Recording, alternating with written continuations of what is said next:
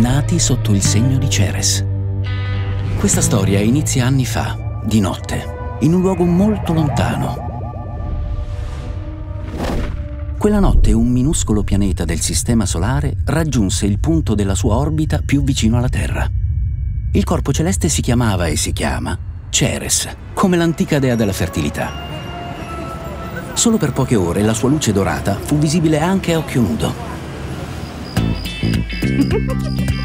Ispirate dal pianeta, quattro coppie di giovani innamorati si esercitavano nell'attività più antica e piacevole. E così, nove mesi più tardi, nacquero quattro bambini. Non avevano poteri straordinari, non erano esseri sovrumani, ma l'influenza dell'astro chiamato Ceres aveva donato a ciascuno di loro un carattere unico e un destino da eroe. Il primo a venire alla luce fu il bello e bastardo. Era così bello che le nonne degli altri piccoli ebbero un leggero attacco di invidia e i vagiti delle bimbe appena nate si trasformarono in sospiri di ammirazione. Il secondo nato, il genio, dimostrò da subito un'intelligenza fuori dal comune. Appena suo papà lo prese in braccio, il bimbo allungò una manina e si mise a giocherellare con il suo orologio da polso.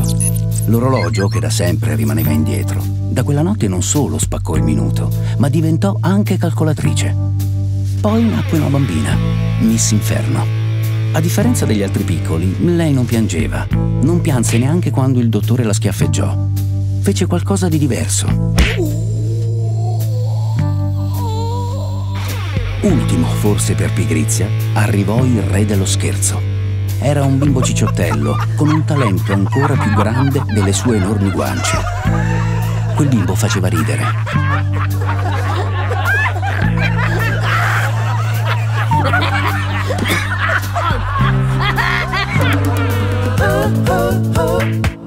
Più tardi, nel cuore della notte, i quattro papà dei nuovi nati casualmente erano tutti usciti a prendere un po' d'aria e casualmente stavano tutti pensando alla stessa cosa.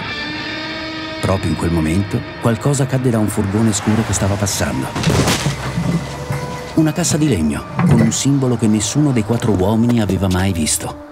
Non sapevano cosa significasse quel simbolo, non sapevano chi sarebbero diventati i loro figli, ma in quel momento avevano tutti voglia di una birra. E quello era solo l'inizio.